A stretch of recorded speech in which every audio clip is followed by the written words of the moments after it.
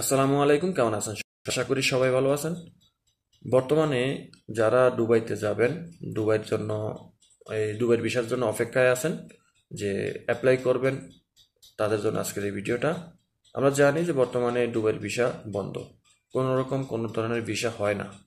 Visit visa বলেন, সেটাও হয় না। Work visa, high profession visa, labour visa, কোনো ক্যাটাগরির ভিসাই কিন্তু হয় না। ঠিক আছে?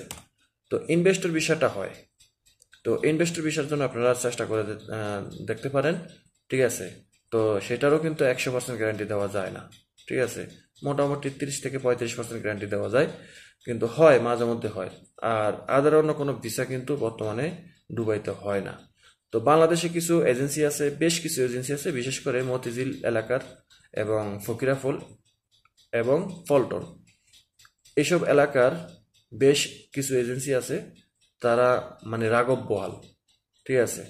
মানে বাংলাদেশের আওয়ামী লীগ সরকার শেখ হাসিনা বাংলাদেশটাকে কীভাবে বিক্রি করে গেছে, তার সাথে দ্বিগুণ। তারা যদি ক্ষমতায় থাকতো, তাহলে বাংলাদেশটারে মানে এই চান্দের দেশে পাঠিয়ে দিত। তারা এত বড় খারাপ লোক। তাদের অফিসে এই দুবাইয়ের ভিসা কখনোই বন্ধ হয় না, ঠিক আছে? কোনো ব্যক্তির কাছে তারা কখনোই বলে নাই যে ডুবের ভিসা বন্ধ পাই যখন খোলে তখন আইসে। এই যে বিশেষ করে মতিঝিল, ফকিরাফল, পল্টন, এইসব এলাকার যে এজেন্সিগুলো আছে, এদের কাছে বারো মাস ডুবাইয়ের ভিসা খোলা থাকে।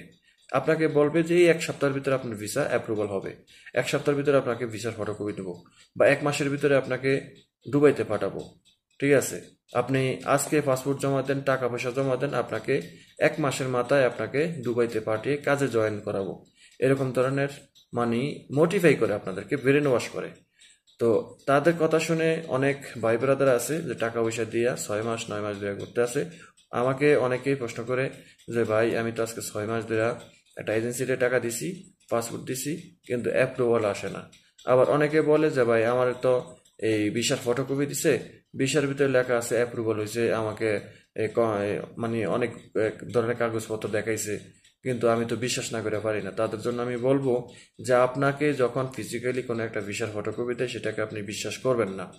কারণ অ্যাডোবি একটা সফটওয়্যার আছে, কম্পিউটারের মাধ্যমে সেটাকে এডিট করে হুবহুব অরিজিনালের মতো একটা ভিসা এই এডিট করাটা একেবারে সিম্পল আপনাদের যদি কারোর দরকার হয়, আমি আপনাদেরকে দুবার ভিসা এডিট করে দিব। আপনার পাসপোর্ট দিয়ে, আপনার নাম দিয়ে আপনি ধরতে পারবেন না।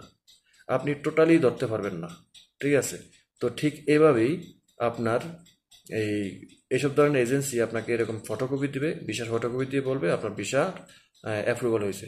আপনি এটা বিশ্বাস করবেন কখন? যখন আপনি পাসপোর্ট দিয়া অনলাইনে চেক করবেন। যদি কেউ না জেনে থাকেন যে কীভাবে আপনি পাসপোর্ট নাম্বার দিয়ে দুবার ভিসা অ্যাপ্রুভাল হয়েছে কি না সেটা চেক যদি না করতে পারেন, তাহলে আমার চ্যানেলে ভিডিও আছে, একটু খোঁজ দিয়ে পাবেন। প্রয়োজনে আমি ওই ভিডিও এই ভিডিওর ডিসক্রিপশনে দিয়ে দিব। ঠিক আছে? তো যাই হোক, তো এডিট করে ভিসার ফটোকপি অনেক ভাই ব্রাদারের হাতে দিছে, কিন্তু তারা শেষ পর্যন্ত অনেকেই অনলাইনে চেক করে দেখে যে তার ভিসা অ্যাপ্রুভাল তো দূরের কথা, অনেকের ভিসার জন্য অ্যাপ্লাই করে নেয় আবার অনেকের কোর্সে রিজেক্ট চলে আসছে। ঠিক আছে? তো এরকমটাই কিন্তু হয়। ভাই, আপনাকে যখন ভিসার ফটোকপি দেবে, আপনি ধরতে পারবেন না।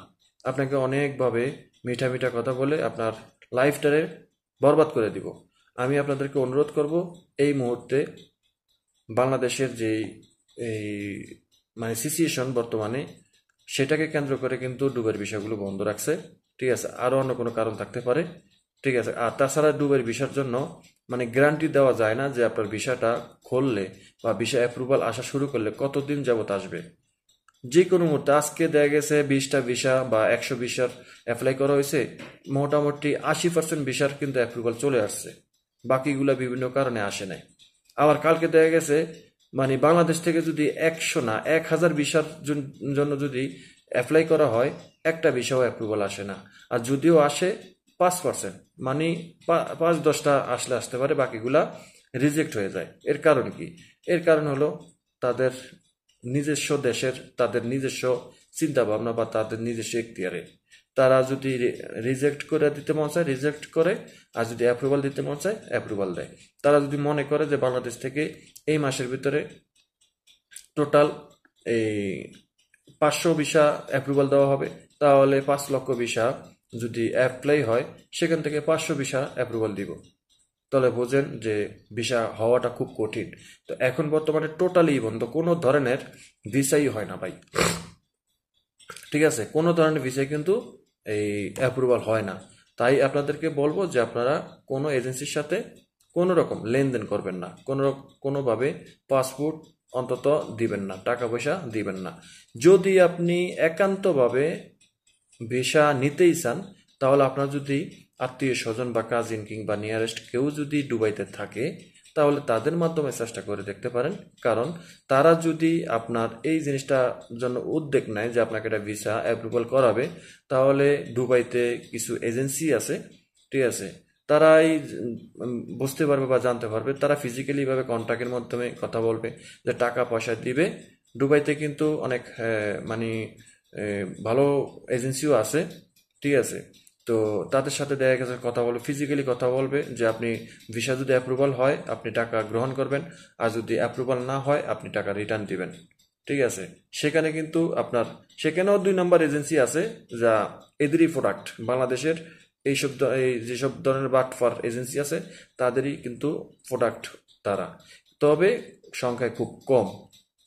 ভালো ভালো এজেন্সি আছে, সৎ এজেন্সি আছে, তাদের মাধ্যমে যদি আপনারা যোগাযোগ করেন, ঠিক আছে? তাহলে হয়তো একটা ভিসা পেতে পারেন।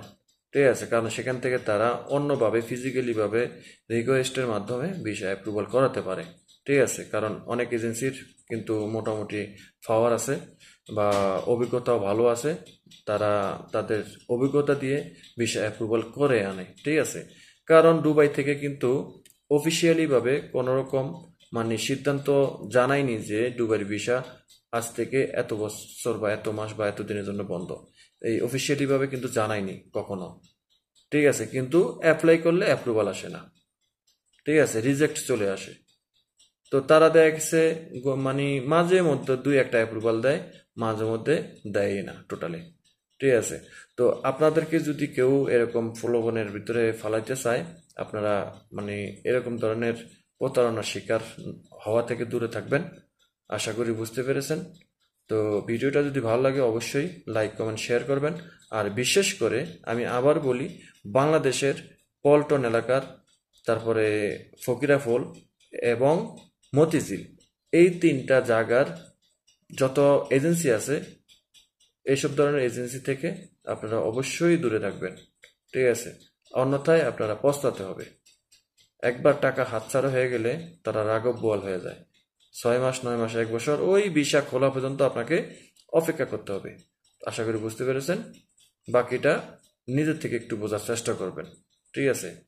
মানে দুবাইতে যাব দুবাইতে যাব, ভিসা কিনবো, এরকম পাগলামি করলে হবে না।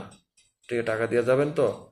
টাকারও একটু মায়া করেন, টাকা কামাইতে যাবেন, খরচ করিয়া তারপর টাকা কামাবেন। কিন্তু খরচ করতে সময় একটু বুঝে শুনে খরচ করবেন। সবাই ভালো থাকবেন, দেখা হবে না কোনো ভিডিওতে। আল্লাহ হাফিজ।